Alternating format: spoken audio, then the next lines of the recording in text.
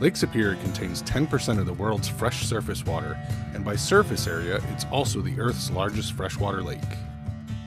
At about 563 kilometers long and 257 kilometers wide, the surface area of Lake Superior is 82,170 square kilometers. The deepest point measures down 1,333 feet, which is taller than the Empire State Building and the Eiffel Tower.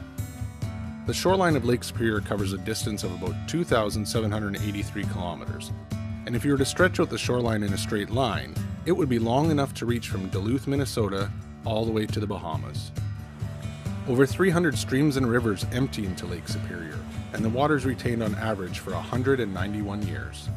It holds 3 quadrillion gallons of water, which, if emptied out, would be enough to flood all of North and South America to a depth of one foot. There are over 80 species of fish that call the Big Lake home, and with an average underwater visibility of 27 feet, it's easily the cleanest and clearest of the Great Lakes. The average temperature of Lake Superior is 36 degrees Fahrenheit or 2 degrees Celsius. It's very refreshing on a hot summer day. And in the winter, it very rarely freezes over completely. The last complete freezing of Lake Superior occurred in 1996. Some of the world's oldest rocks that formed about 2.7 billion years ago can be found on the Ontario shore.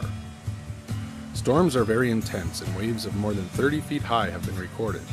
These unpredictable waves undoubtedly helped contribute to the over 550 shipwrecks in Superior. Most notably, in 1975, the Edmund Fitzgerald was the largest ship ever to be lost in the lake.